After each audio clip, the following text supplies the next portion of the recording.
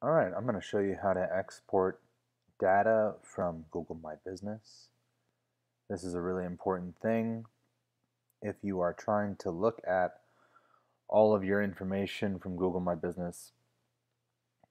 First, let's go to business.google.com. You'll notice in Insights, uh, it can be really frustrating because you can't really do a custom view sure you can like look at the last month, the last week, the last quarter, but if I want to look at a custom date range, can't really do that. Which as an agency, I absolutely need to be able to do that because clients might need a specific date range they want to look at. So, very simply, here's all you do. Click there next to the client or the location. Actions, insights. Then we're going to click Discovery Insights, hit Next. And I'm going to choose a custom date range. I'm going to go back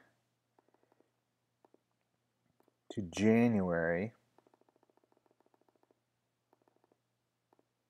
of 2019, the whole month.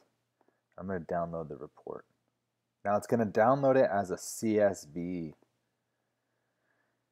which CSV, sure, as you know, is very difficult to understand, but if you upload it to Google Drive, or I'm sure you could just import it to Microsoft Excel, if that's something you have, then it makes it much easier to understand. So I'm going to open this up, and I'm going to choose to open it with Google Sheets.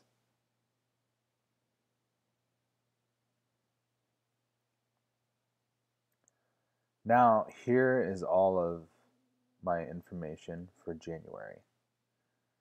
Um, let's say, let's let this load a little bit first. Okay, um, so one of the things that's a little bit annoying about this is is that it, I guess it's not really annoying. It's just the way it is. It uh, goes into a horizontal format, but if I want to paste it into a vertical, I'm just going to hit paste special, hit paste transposed. There you go. And same thing with here. Do the same exact thing. I'm going to copy it. I'm hitting Command C and then pasting it, but paste special, paste transposed. Now what I'm going to do, I'm going to bold that. I'm going to call this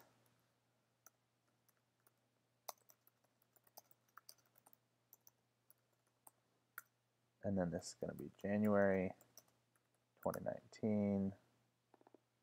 And then I'm going to delete these because I don't need it. And then I'm going to add this back in because I want it. and now, you know what? I'm going to unbold that. underline this.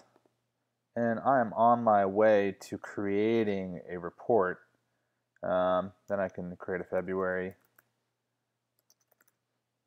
and then I can repeat the process. Just rinse and repeat, actions, insights, and I'm going to go for February.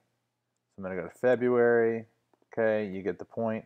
and then what you do, you just repeat that process over and over again and keep adding to this sheet, and you'll be able to have, um, I think you can go back 18 months with Google My Business. So it's better if you do it now and have the data uh, than to wish you had it later.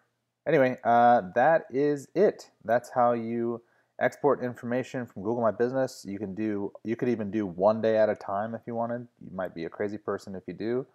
Um, but you could do one day at a time. You could do a year at a time. You could do whatever the custom date range, whatever you feel like doing. That's what you can do. All right. Hope this was helpful. Give me some feedback. Thank you. Bye.